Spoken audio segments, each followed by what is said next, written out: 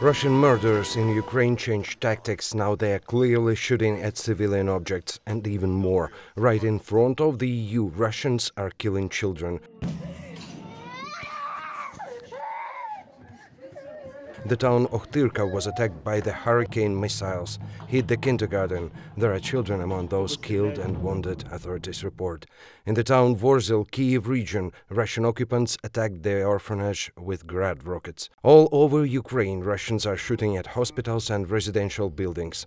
State specialized company Ecocenter reports that they recorded increased level of gamma rays at Chernobyl monitoring stations. This is the result of Russian heavy machinery moving through through the areas contaminated with radionuclides. This dust will also settle on the wheels and trucks and will be spread far beyond the Chernobyl exclusion zone. The Ukrainian army responds to each attack. Near Kharkiv, Russians were smashed and thrown back. Meanwhile, in Kiev, people are ready to fight back using the Revolution of Dignity experience. The ancient European capital prepares to fight back.